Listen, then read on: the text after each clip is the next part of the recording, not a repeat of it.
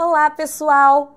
Bom, vamos tratar sobre a teoria geral da pena. O que, que, é pena? Não é? Eu trouxe até um conceito do Sebastian Soler. Ele diz que a pena é a sanção aflitiva imposta pelo Estado por meio da ação penal ao autor de uma infração penal como forma de retribuição do seu ato ilícito, consistente na diminuição de um bem jurídico, que na verdade é a liberdade, e cuja finalidade é evitar a prática de novos delitos.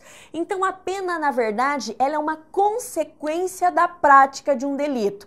O indivíduo, quando pratica um delito, surge para o Estado algo chamado de jus puniendi, ou seja, o direito de punir. E aí, mediante mediante o devido processo legal, se consegue é, uma sentença que, se condenatória, dá ao, dá ao Estado o direito de executar essa sanção penal. Muito bem. Qual é a finalidade da pena? Existem várias teorias que tentam explicar qual é a real função da pena, qual é o objetivo da pena. Eu separei aqui para vocês as três principais teorias. A primeira delas é a teoria absoluta, ou também chamada teoria da retribuição. Para ela, a pena, ela tem como único objetivo o castigo do infrator. Ela quer retribuir o mal causado. Então a pena ela se reveste de um caráter expiatório, de um caráter de castigo, ok? Uh, a imposição da sanção para essa teoria, ela tem como fundamento o livre-arbítrio. O indivíduo, ele teria livre-arbítrio para escolher entre praticar o crime ou não. Então, se o indivíduo escolheu pela prática do crime, ele tem que ser castigado, ele tem que ser punido. Então, a pena, ela assume essa função de retribuição, retribuição à ordem jurídica. O indivíduo ele acaba tendo uma dívida então com a sociedade que ele deve pagar. Não há nenhuma preocupação com o delinquente, se ele vai se reabilitar, se ele não vai. Simplesmente ele tem que pagar por aquilo que ele fez. A segunda teoria, chamada teoria relativa, finalista, unitária ou da prevenção, pode aparecer todos esses nomes como sinônimos, não é? Numa prova de concurso. É para ela aqui, a pena tem realmente uma finalidade, ela tem um objetivo. O objetivo da sanção, o objetivo da pena é prevenir a prática de delitos. E ela se subdivide em duas espécies: teoria da prevenção geral que, e a teoria da prevenção especial. A teoria da prevenção geral, ela dispõe que o indivíduo, é, ele é punido para servir de exemplo para a sociedade. É para fazer, é uma espécie de coação psicológica para a sociedade. Olha, você tá vendo? O indivíduo praticou crime, então a pena dele é essa. Olha, sociedade, se vocês fizerem isso, também serão submetidos à mesma pena. Então se usa essa coação psicológica social por meio da aplicação da sanção penal. E a prevenção geral especial? A prevenção geral especial, ela já se preocupa com a pessoa do delinquente. A intenção, o objetivo da pena é a readaptação social do infrator. O objetivo da pena é a ressocialização. Então, ela visa o indivíduo que já delinquiu, no intuito de que esse, esse ser humano não pratique mais delitos. O objetivo é ressocializar, é poder recolocá-lo novamente no meio social. ok? E por fim, nós temos a teoria chamada de mista, eclética, intermediária, unificadora ou conciliatória. São todos sinônimos, não é? Para essa teoria, a pena ela tem uma natureza retributiva, uma natureza de castigo, sim, mas ela também possui uma finalidade ressocializadora. Então ela tenta juntar, é? ela tenta unir as duas outras teorias em uma só. Olha, a pena é um castigo, sim. A pena é uma forma de retribuição, mas ela também visa, ela também tem como objetivo a reintegração social do infrator. Ela tem como objetivo é que o indivíduo não mais pratique crimes, que ele não reincida. É, é essa teoria que prevalece Uh, nos ordenamentos jurídicos pelo mundo. E é essa teoria que nós adotamos. É o que diz lá o artigo 1 da Lei de Execução Penal, a Lei 7.210 de 84. Ela diz lá: ó, olha, a execução da pena tem por objetivo efetivar as disposições da sentença ou da decisão criminal proporcionar condições para a harmonia e integração social do condenado e do internado. Então, nós utilizamos essa teoria mista. É? Bom, a com um breve olhar sobre o sistema prisional hoje no Brasil, a gente verifica uh, que se essa é a função da pena, é, em produzir a ressocialização do preso, impedir que ele pratique, no, pratique novos delitos, uh, já dá para verificar que não está funcionando, não é? Porque nossos índices de reincidência são altíssimos, uh, nós não temos números ainda Uh, estatais sobre essa reincidência, mas a gente sabe que gira em torno de 70% a reincidência dos indivíduos que praticam crimes pela primeira vez. É, e aí, quando reincidem, 70% deles voltam a praticar crime depois de sair do sistema prisional. Então, a gente verifica que nosso sistema prisional é, está falido e que os objetivos da sanção penal, na verdade, são só ideológicos, estão só no papel, mas que efetivamente não se cumpre. Espécies de pena. O artigo 32 do Código Penal, ele nos traz quais são os tipos de pena é, que são admitidos no nosso ordenamento jurídico. Diz lá, as penas são: 1. Um, privativa de liberdade. É, 2. Restritivas de direito. E 3. Multa. Então, essas são as penas. A nossa Constituição proíbe penas de caráter perpétuo, cruéis, desumanas e degradantes. É? O que afrontaria o princípio da dignidade da pessoa humana, mas nós sabemos que nas nossas condições atuais do sistema prisional brasileiro, é, isso, penas degradantes e desumanas, são a todo tempo uh, aplicadas em razão da superlotação, da violência nos presídios, da, da falta de vagas, da falta de pessoal técnico, é, enfim, ok? Uh, pena privativa de liberdade. Nos últimos anos, é, ela foi eleita como uma das principais, um dos principais medidas não é, para o combate do crime aqui no nosso território. O que, que é essa pena privativa de liberdade, professora? É aquela que retira a liberdade do indivíduo, que restringe a liberdade do indivíduo. E aí nós temos algumas espécies de pena privativa de liberdade. Primeiro, a reclusão e a detenção concernentes que são aplicadas aos crimes. E nós temos também a prisão simples, que é aplicada às contravenções penais, que são aplicadas às contravenções penais.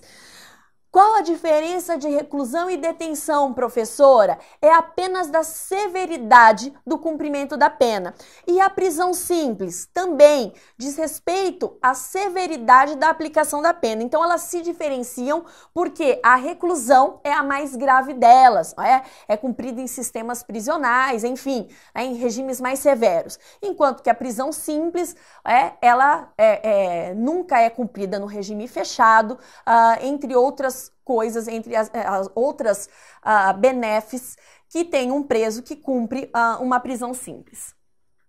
Regimes. A pena privativa de liberdade, ela é uh, cumprida em regimes, é? regimes de cumprimento de pena. Tem previsão legal lá no artigo 33, parágrafo 2 do Código Penal, que diz lá, olha, as penas privativas de liberdade, elas deverão ser executadas de forma progressiva.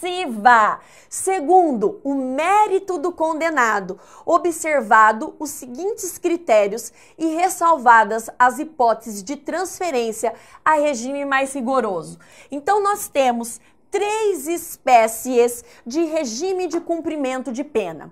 Nós temos o regime fechado, o semiaberto e o regime aberto. O regime fechado é aquele que é cumprido né, em unidades penitenciárias de segurança máxima. O indivíduo vai para penitenciária. É, ele cumpre essa pena em regime fechado dentro daquele estabelecimento. Ele não tem direito a saídas temporárias, é, ele não pode trabalhar fora da unidade prisional. Então, a segurança é máxima.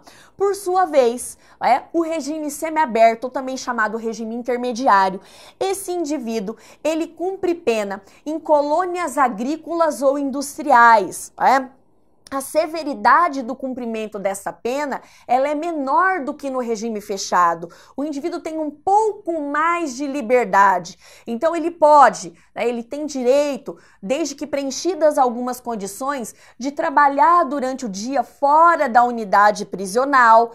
É? Ele tem direito a saídas temporárias, né? Que a TV costuma dizer assim, né? No Natal, olha, o indivíduo está de induto natalino, está indo para casa passar o Natal e o Réveillon com a família. Aquilo não é induto, aquilo é saída temporária. Então, o indivíduo normalmente de semiaberto ele tem cinco saídas temporárias por ano, preenchidas determinadas condições.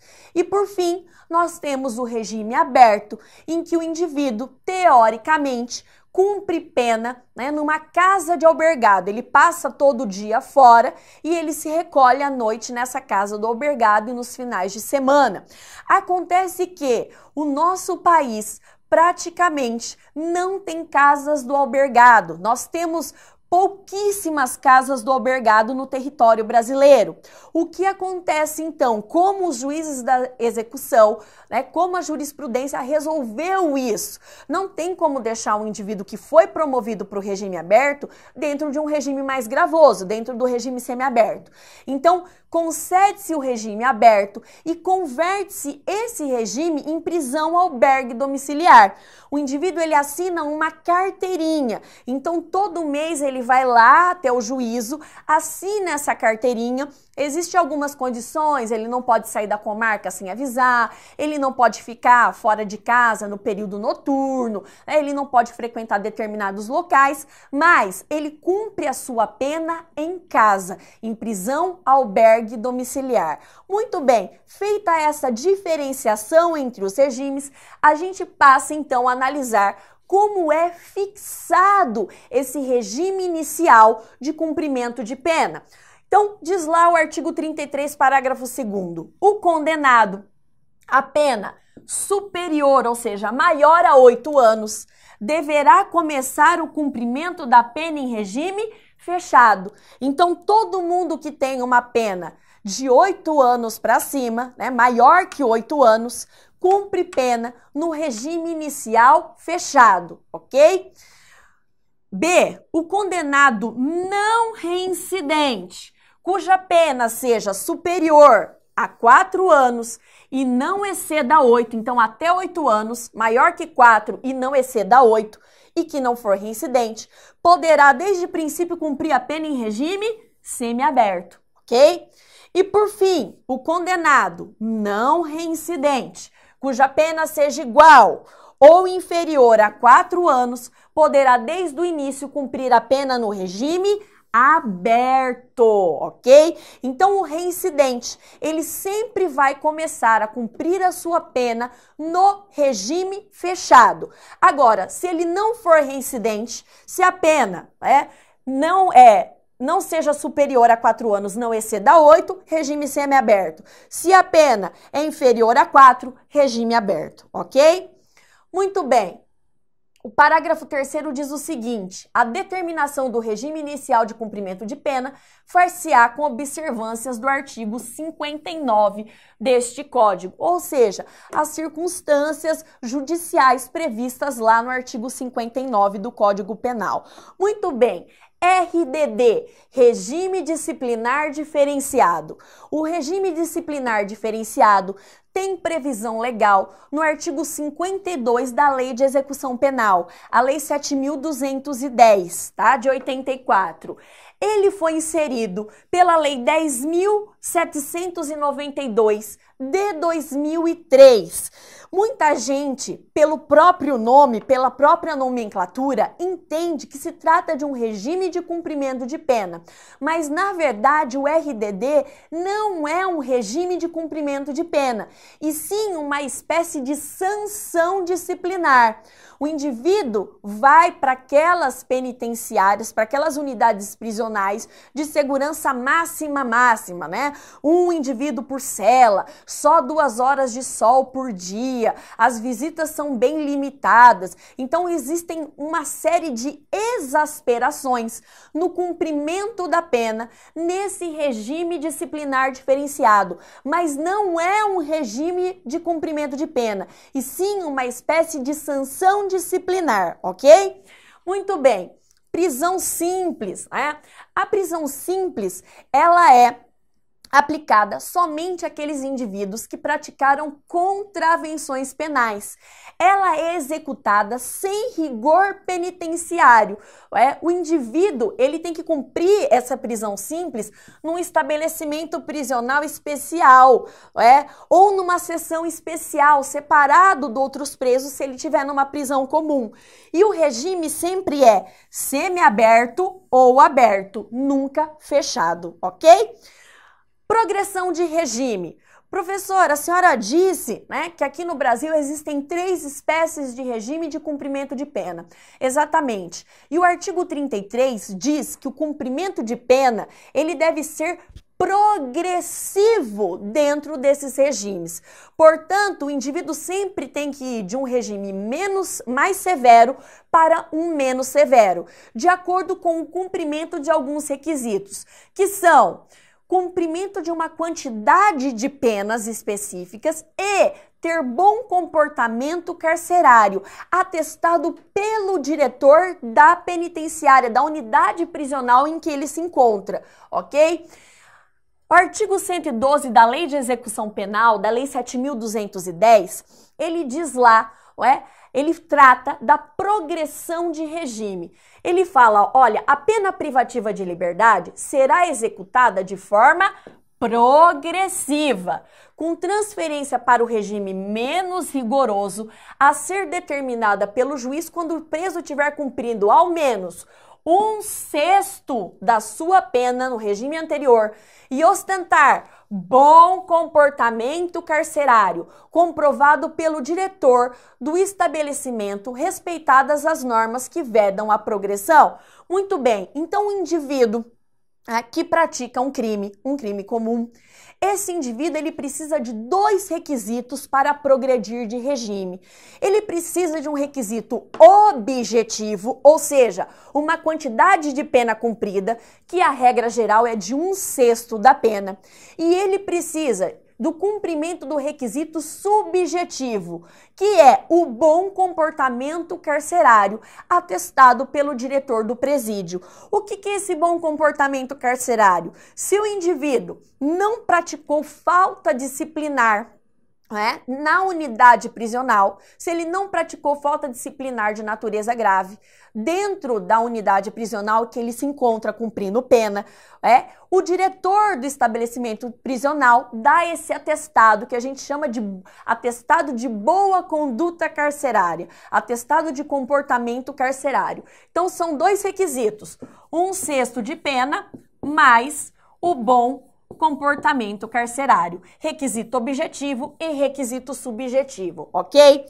Essa regra, ela muda um pouquinho, tá? Em relação aos crimes que são considerados hediondos ou equiparados. No ano, é, nós tínhamos, nós temos lá na, no artigo 1 parágrafo 2 da Lei dos Crimes Hediondos, a Lei 8072 de 90, é, o seguinte, a seguinte disposição. A progressão de regime no caso dos condenados previstos nesse artigo dar-se-á após o cumprimento, olha a diferença, de dois quintos da pena se o indivíduo é primário e de três quintos da pena se ele é reincidente. Para os crimes hediondos, o indivíduo tem que cumprir um requisito objetivo maior do que um crime comum.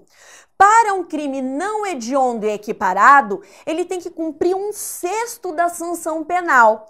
Já para o crime hediondo ou equiparado, se ele é primário, ele tem que cumprir dois quintos. E se ele é reincidente, ele tem que cumprir três quintos. E também ter o tal do bom comportamento carcerário, tá? Essa, essa regra, ela mudou em 2007. Antes disso, a lei dos crimes hediondos, ela trazia uma proibição de progressão de regime. Ela dizia que para os crimes hediondos e equiparados, a pena deveria ser cumprida no regime integralmente fechado. O que isso quer dizer? Quer dizer que a lei, de, a lei dos crimes hediondos vedava a progressão. Portanto, o indivíduo preso por crime hediondo não importava se ele era maravilhoso, o melhor preso do mundo dentro da penitenciária, ou se ele era péssimo lá dentro. Não importava. A pena dele seria cumprida integralmente no regime fechado. Era proibida essa progressão. Acontece que isso foi objeto é, de um habeas corpus no STF, é, que foi se pronunciar sobre a inconstitucionalidade constitucionalidade ou não é, dessa vedação da progressão de regime. E o STF, então, se posicionou no, no seguinte sentido: de que esse dispositivo que proibia a progressão de regime, ele era inconstitucional, pois feria o princípio da individualização da pena, é? A pena, ela tem que ser individualizada a cada condenado, de acordo com o seu mérito. Se eu proíbo essa progressão, eu estou ferindo o princípio da individualização da pena. E aí então se criou essa regra, né, com um requisito objetivo mais severo, né? Tem que cumprir mais pena, então, para conseguir essa progressão de regime, ok? Professora, é possível progredir por salto? O indivíduo está lá no regime fechado, só que aí demoram muito tempo para pedir a progressão dele para o regime semiaberto. Quando vê, ele já cumpriu o requisito para ir para o regime aberto. Eu posso fazer o pedido direto para o regime aberto? Não posso tá? No nosso ordenamento jurídico é proibida a progressão por salto. Porque a própria lei diz essa transferência de regime ela tem que ser progressiva, ela tem que ser gradativa. Então, do fechado tem que ir para o semiaberto e do semiaberto para o regime aberto. Regressão é possível um indivíduo que esteja cumprindo pena no regime semiaberto ou no regime aberto que ele seja regredido, que ele vá para um regime mais grave, né, que ele vá para um regime mais severo? É, isso está previsto no artigo 118 da Lei de Execuções Penais. Diz lá, olha, a execução da pena privativa de liberdade ficará sujeita à forma regressiva com a transferência para qualquer dos regimes mais rigorosos quando condenado pratica fato definido como crime doloso ou como falta grave. A lei de execução penal, ela traz uma série ué, de faltas disciplinares. Então, se o preso pratica aquela conduta, é aberta uma sindicância. Essa sindicância, é, ela tem ali uh, um, um, resultado, o indivíduo pode ser absolvido ou pode ser condenado por essa falta disciplinar de natureza grave. E aí, então, ele regride de regime. E se ele também praticar um crime doloso, é, uh, ofende a integridade física de outro preso dentro da unidade prisional, mata alguém, enfim, ok? Então, nesses casos, na prática de crime doloso e de falta grave, ocorre a regressão para um regime mais severo. E segundo, né, sofrer condenação por crime anterior, cuja pena, somada ao restante da pena, em execução, torne incabível o regime que ele está. Então, suponhamos que o indivíduo está lá no regime semiaberto e faltam três anos para que ele cumpra a pena. Vem uma condenação por um crime anterior que ele praticou anterior à prisão, com uma pena de 10 anos, e ele fica aí com uma pena de 13 anos. Ele não pode mais continuar no regime semiaberto. Né? Somando-se as penas, a soma das penas não é compatível com o regime que ele está. Portanto, ele tem que regredir de regime, ok? A aplicação da pena. A aplicação da sanção penal ela é uma atividade jurisdicional. A aplicação da pena ela acontece no momento da sentença condenatória. Então o juiz, é, sendo guiado por alguns critérios ele faz essa o que a gente chama de dosimetria da pena. Ele aplica a sanção penal ao caso concreto. Então, quando você abre o Código Penal lá na parte especial, você tem limites mínimos e máximos da pena. O juiz, então, levando isso em consideração e três critérios que a gente vai explicar a vocês, é o juiz, então, ele aplica aplica a sanção ao caso concreto. Isso é dosimetria da pena. É um ato discricionário do juiz. É o juiz que faz isso de acordo com o seu entendimento, de acordo com a observação das provas. No entanto, ele é vinculado. Vinculado ao quê? A alguns critérios que a gente que a gente vai definir. É? O primeiro desses critérios é o que a gente chama de teoria das margens. O juiz tem um mínimo e um máximo da pena. Ele não pode olhar para um crime que tem uma pena mínima de cinco anos e dizer, ai, tadinho do, desse indivíduo, né? Ele não merece uma pena mínima de cinco anos, é muito. O legislador, né, ele colocou pena demais aqui. Ah, vou dar uma pena de um ano. Ele não pode fazer isso. Ele sempre fica distrito às margens, ao mínimo e ao máximo da pena, não é? Então, muito bem, o artigo 68 do Código Penal é que traz é, esse critério esses critérios que o juiz tem que observar, que o juiz tem que seguir para dosar a pena, para aplicar a sanção ao caso concreto. E a gente chama esse critério de critério trifásico, porque o artigo descreve três fases da aplicação da pena, da dosimetria da pena. É o que está escrito lá no artigo 68 do Código Penal. Né? Ele diz assim, ó, a pena base será fixada atendendo ao critério do artigo 59 deste código. Então, essa é a primeira fase, tá? Depois, em seguida, serão consideradas as circunstâncias atenuantes e agravantes. Essa é a segunda fase, né? E por último, causas de aumento e de diminuição de pena, essa é a terceira fase. Então é por isso que nós chamamos de critério trifásico, porque nós temos três fases. Esse critério foi criado pelo Nelson Hungria, então tem gente que chama critério trifásico de Nelson Hungria, tá? Então vamos lá para cada uma das fases. O primeiro, a fixação da pena base. O juiz, ele tem que partir de alguma coisa. Eu tenho um mínimo e um máximo da pena, é? Tem lá, pena mínima de 5, pena máxima de 15. Como é que o juiz decide, dentro desse limite, qual é a pena inicial do indivíduo? Ele tem que, para conseguir essa fixação da pena base, da primeira pena, né, ele deve seguir os requisitos do artigo 59, que nós chamamos de circunstâncias judiciais. Diz lá, olha, o juiz atendendo à culpabilidade, os antecedentes, a conduta social, a personalidade do agente, aos motivos, as circunstâncias e consequências do crime, bem como o comportamento da vítima, estabelecerá, conforme seja necessário e suficiente, para reprovação e prevenção do crime, as penas aplicadas dentre as combinadas, a quantidade da, plena, da pena aplicável dentro dos limites previstos, o regime inicial de cumprimento da pena e, se é possível, a substituição da pena por uh, restritiva de direito, ok? Por restritiva de direito. Muito bem.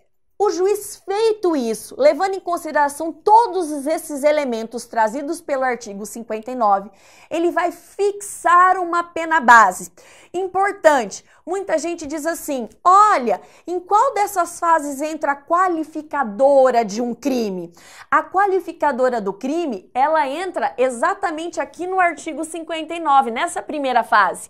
A qualificadora é aquela situação é, elencada dentro de um tipo penal que aumenta o limite mínimo e máximo da pena aplicada. Então, por exemplo, no crime de homicídio qualificado, artigo 121, parágrafo 2 o que muda é o limite da pena mínima e da pena máxima. É diferente. Então, o juiz já vai considerar esse limite né, dessa qualificadora. Segunda fase, né? A Fase intermediária. O juiz vai ter que encontrar a pena intermediária.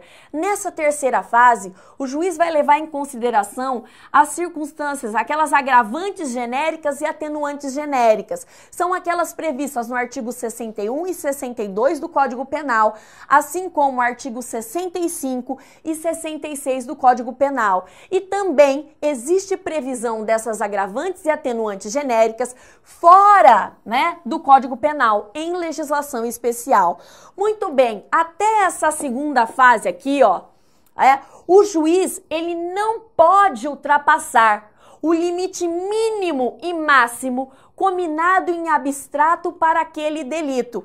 Então, se o indivíduo já está com uma pena base mínima e ainda tem uma atenuante, mesmo assim o juiz não pode ir além, abaixo daquele mínimo legal. A mesma coisa, se o juiz já colocou a pena máxima, no, a pena do indivíduo na pena base no máximo legal, mesmo que tiver agravante, ele não pode passar daquele máximo, ok? Então, até nessa segunda fase aqui, o juiz está uh, vinculado a essas margens trazidas pela lei penal, ok?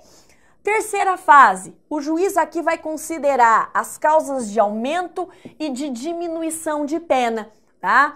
Aqui sim, aqui sim, o juiz pode passar do limite mínimo e do limite máximo da pena. Um exemplo disso, artigo 33, parágrafo 4 da lei de drogas. É uma causa de diminuição de pena. Então, se o juiz já fixou uma pena mínima, é, a pena aplicada essa causa de diminuição de pena do parágrafo 4 da lei de drogas, do artigo 33, é possível que a pena fique abaixo do mínimo legal. Muito bem, ainda na sentença, mas não faz parte mais desse critério trifásico. O juiz tem que fixar o regime da pena que nós já estudamos, regime fechado, semiaberto ou aberto, e verificar também a possibilidade de penas alternativas e a aplicação do sursi.